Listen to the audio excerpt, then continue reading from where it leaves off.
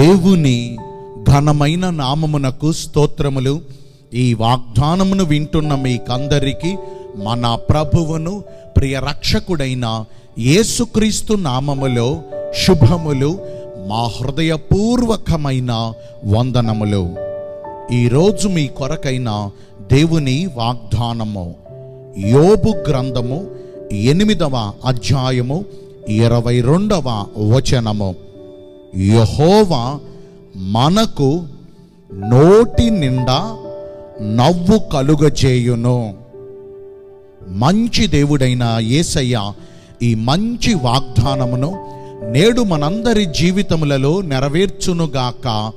ఆ మెయిన్ ఈ వాగ్దానాన్ని మనము పరిశీలిస్తే సైన్యములకు అధిపతి అయిన యహోవా దేవుడు శాశ్వతమైన ప్రేమతో మనందరినీ ప్రేమించుచు విడువక ఎడబాయక ఆయన ఉన్నతమైన కృపను మనందరి ఎడల అనుగ్రహించచ్చు. యుగ సమాప్తి వరకు సదాకాలము మనకు తోడుగా మన పక్షమునందే మన చెంతనే నిలిచి ఉండి మన చింతలన్నిటినీ మాన్పి మన దుఃఖమును మన వేదనను తొలగించి మన రోదన ధ్వనిని ఆలకించి ఆయన మనతో కూడా నివాసమును చేయుచు మన దుఃఖ దినములను ఇక సమాప్తపరిచి ఇక ఎన్నటికి దుఃఖము లేకుండా ఏడ్పు లేకుండా మన నోటి నిండా ప్రభు మనకు నవ్వును కలుగజేసి ప్రహర్షించు పెదవులను ఆయన మనకు అనుగ్రహిస్తారు. మంచి దేవుడు ఈ మంచి వాగ్దానం నేడు వింటున్న మనందరి జీవితములలో మరి నిశ్చయంగా నెరవేర్చాలంటే మొదటిగా దేవుని దృష్టికి పరిశుద్ధమైన ప్రవర్తన కలిగి జీవించాలి. మనం పాపం చేసాం అనుకోండి మన సంతోషాన్ని మనమే కోల్పోతాం. పాపం చేసిన వారు నెమ్మదిగా ఉండలేరు చూడండి. అతిక్రమాలు చేసిన వారు సంతోషంగా జీవించలేరు చూడండి. ఆదాము హవ్వలు పరిశుద్ధమైన ప్రవర్తన కలిగి జీవించినంత కాలము వారికి అసలు లోటు ఉందా వారికి అసలు దుఃఖమన్నా? వారికి అసలు ప్రయాసమన్నా తెలుసా?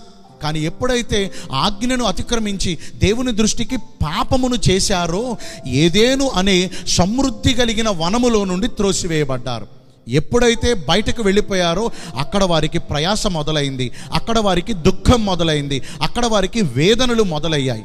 ఈ రోజున పాపం చేసిన వారికి దేవుని సన్నిధిలో చోటు ఉంటుందా? పాపం చేసిన వారు నోటి నిండా నవ్వుకోగలరా? మన పాపమే మన సంతోషాన్ని అణిచివేస్తుంది. మరి ఈ వాగ్దానాన్ని విన్న తర్వాత అయినా మన పాప దోష అతిక్రమ క్రియలను దాచుకొనక కప్పుకొనక నేడే ప్రభు ఎదుట ఒప్పుకుని విడిచిపెట్టి క్రీస్తేసు రక్తములో కడుగబడి శుద్ధి చేయబడదాం. దేవుడిచ్చే సంతోషకరమైన జీవితమును పొందుకుందాము. రెండవదిగా కన్నీరు విడుచుచు ప్రభు సన్నిధిలో ఆయన పాదముల ఎదుట ప్రార్థించాలి. మనం చేసే పొరపాటు ఏంటంటే మనకు ఎదురైన కష్టాలను బట్టి మనకు ఎదురైన శ్రమలను శోధనలను బట్టి మనుషులపై ఆధారపడి మనుషుల యొద్దకు వెళ్ళి వారితో మన దుఃఖాన్ని పంచుకుంటాం. మనుషుల ముందు మన దుఃఖాన్ని ప్రదర్శిస్తాం. అలా చేయటం వల్ల మన దుఃఖం ఇంకా పెరుగుతుంది కానీ మన ఏడుపు తగ్గుతుందా?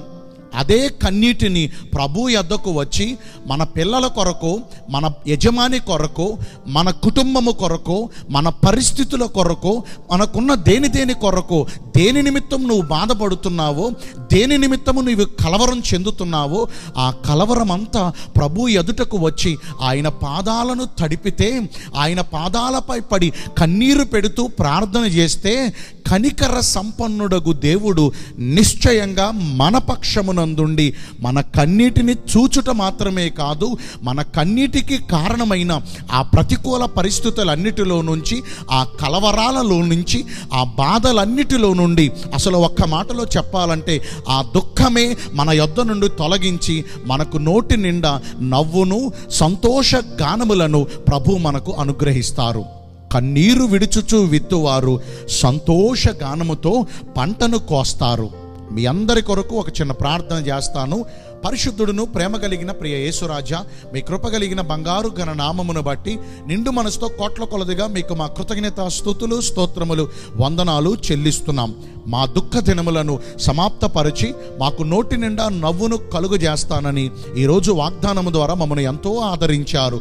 మీ చిత్తానుసారంగా ప్రవర్తించి ఈ వాగ్దాన ఫలమును పొందుకునే కృపను నేడు మాకందరికీ దయచేయండి.